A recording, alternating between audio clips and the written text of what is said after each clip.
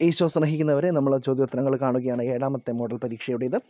ഷിമയോൻ ഗോത്രത്തിന്റെ അവകാശത്തിൽ ആദ്യം പരാമർശിക്കപ്പെടുന്ന സ്ഥലം അത് ബേർഷബായാണ്. ജോഷുവ പത്തൊൻപത് മൂന്നിൽ പറയുന്ന സ്ഥലങ്ങളിൽ രണ്ടാമത്തേത് അത് ഷുവാൽ ആണ് ബി. ജോഷു പത്തൊൻപത് അഞ്ചിൽ എത്ര സ്ഥലങ്ങളാണ് പരാമർശിക്കപ്പെടുന്നത്? തീർച്ചയായും മൂന്ന് സ്ഥലങ്ങളാണ്. യൂത ഗോത്രത്തിന്റെ അതിർത്തിക്കുള്ളിൽ ഷിമയോൻ ഗോത്രത്തിന് അവകാശമായി ലഭിച്ച അവകാശം ലഭിച്ചത് എന്തുകൊണ്ട്? ഓഹരി വളരെ വലുതായിരുന്നതിനാൽ യൂത ഗോത്രത്തിന്റെ അടുത്തത് മൂന്നാമത്തെ നറുക്ക് വീണത് ഏത് ഗോത്രത്തിനാണ്? മൂന്നാമത്തെ നറുക്ക് വീണത് സെബിലൂൺ ഗോത്രത്തിന്. സെബിലൂൺ ഗോത്രത്തിന്റെ അവകാശത്തിൽ അവസാനം പരാമർശിക്കപ്പെടുന്ന സ്ഥലം ഏത്?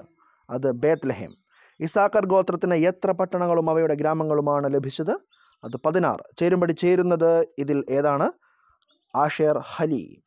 ഇവിടെ ദാൻ ഗോത്രം യുദ്ധം ചെയ്തത് ഏത് സ്ഥലത്തിനെതിരെയാണ്? തങ്ങളുടെ ദേശം നഷ്ടപ്പെട്ടപ്പോൾ. ഉത്തരം ലേഷം ലേഷമിനെതിരെ അടുത്ത അധ്യായം വാക്യമാണ് ഇത് പത്തൊൻപത് നാൽപ്പത്തി ഒൻപതാണ് ദൈവം നമ്മെ അനുഗ്രഹിക്കട്ടെ.